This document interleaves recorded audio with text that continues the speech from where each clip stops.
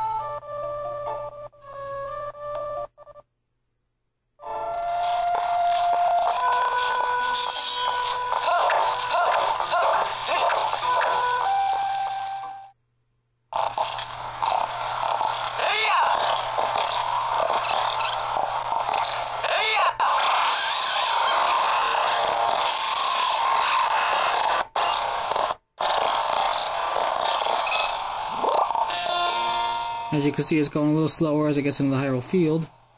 So for that, what we can do is we can take the emulated CPU speed and just drop it. I've done to about no less than 40%.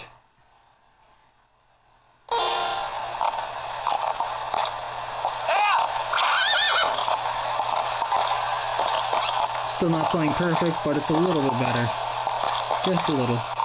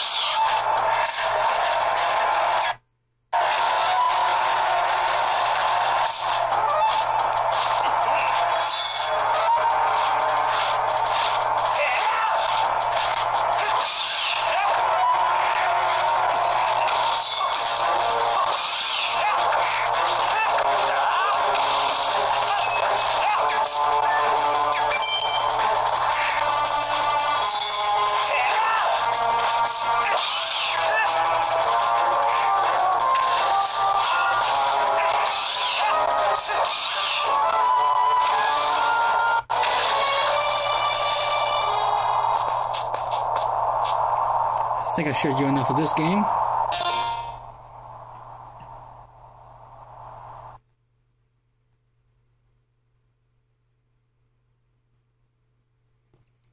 And we're gonna go to another big surprising uh, moment for me Resident Evil 4.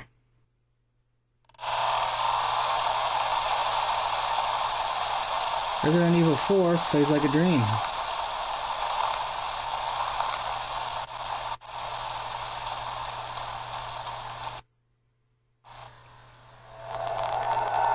The most part.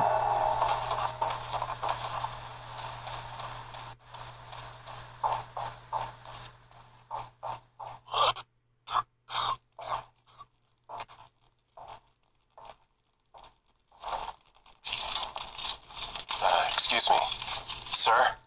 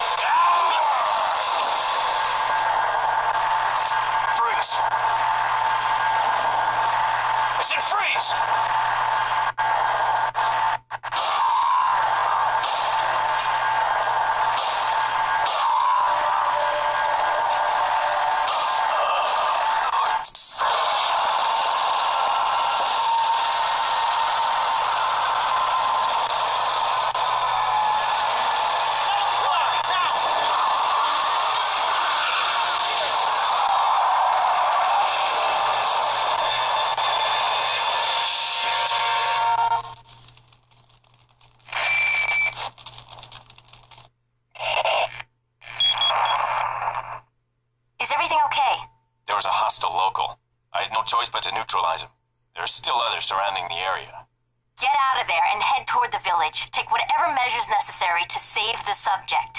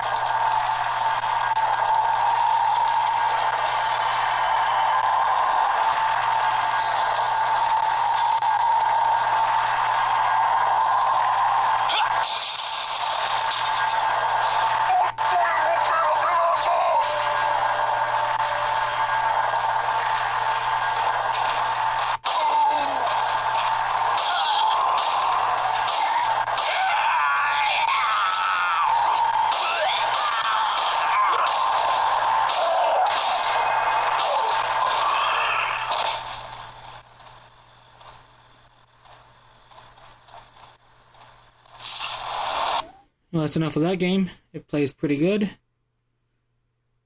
But not every Dolphin, uh, not every GameCube game can run well on the Dolphin emulator.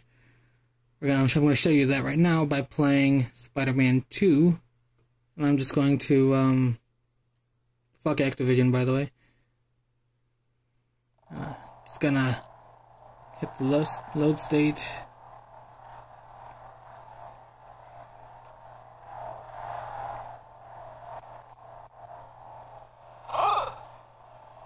This is about the best you're gonna get with Spider-Man 2 on the Switch.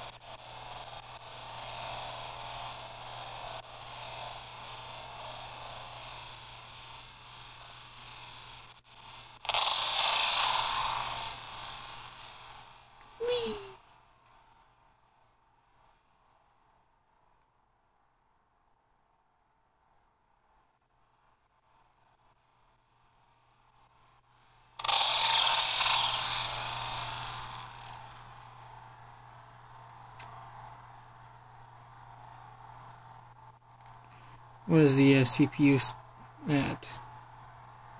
50%? Yeah. Try it at 40 just to see.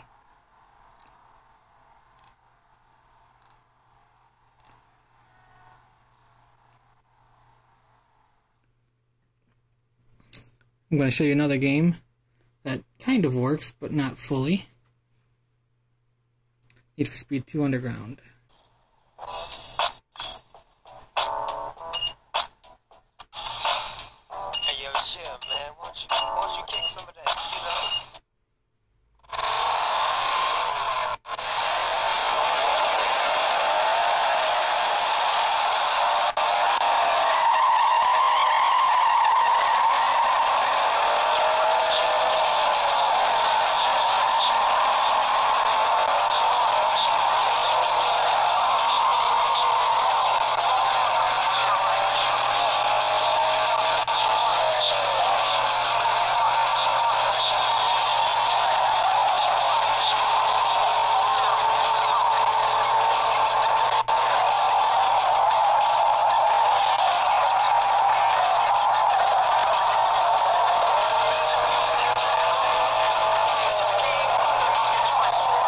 Kind of plays, but it looks like crap, and it kind of has. There's just something about it that makes it feel like it's not being played fully uh, at full speed or something. Here's Metroid Prime 2 Echoes. I'm just gonna go to the load state.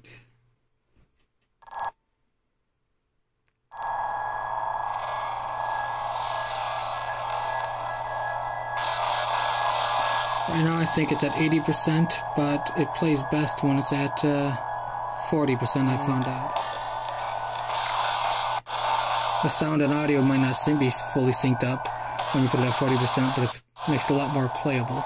Another thing about this game is if you wanted to scan something, like say, uh, well, this cargo crate here, you can't really unless you go into settings and you turn off store EFB copies to textures only. You have to turn that off, which makes the game play slower, or allows you to scan. It's not like this in the first Metroid Prime when you're emulating it, but it is for 2 and even Metroid Prime 3, but you can't really emulate Wii games on this. Um, but it's, uh, for the most part, playable.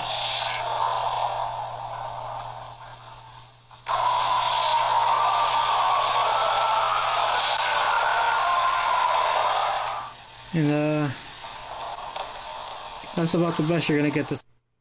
Now, the absolute worst game to play on the Dolphin emulator is Star Wars Rogue Squadron 2. Even the best computers have troubles emulating this at full speed without any hiccups. Um, even if I take it down to about 40%,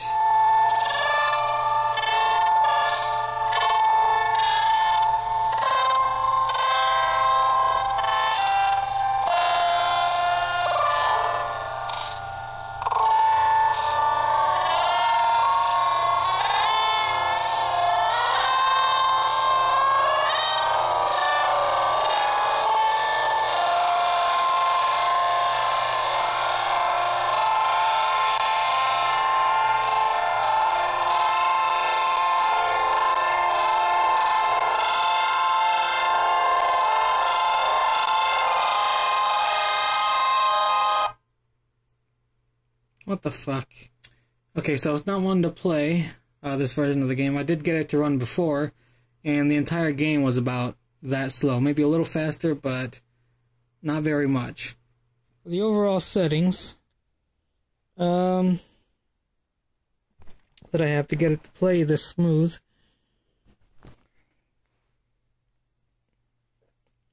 Um, yeah, I've got the override emulator, yeah, emulator CPU clock speed, and I usually have it anywhere between 80 to 40 percent. I uh, I very rarely take it up to 100 percent, and if you take it below 50 to 40 percent, uh, it'll start acting like really bad. The games won't play like the Switch will be able to emulate it better, but the actual emulated CPU won't be able to keep up with the game, and it'll it'll have many of the same problems as if you try to turn it up to like 300% or something.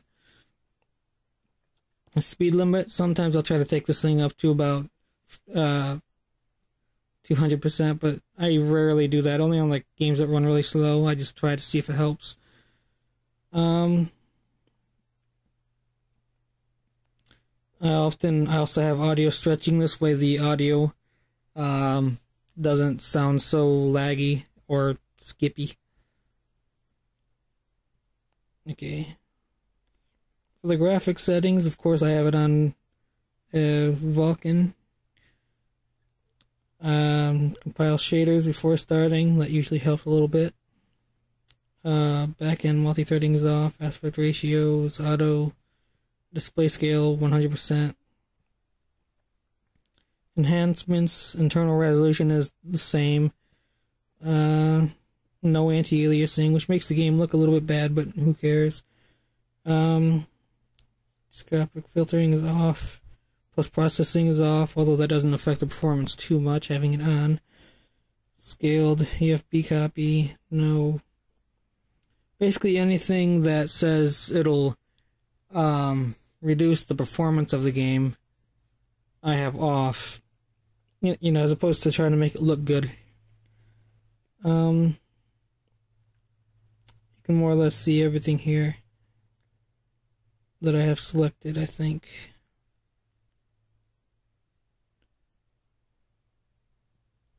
And hacks. Um, skip EFB access to CPU. Yeah, pretty much.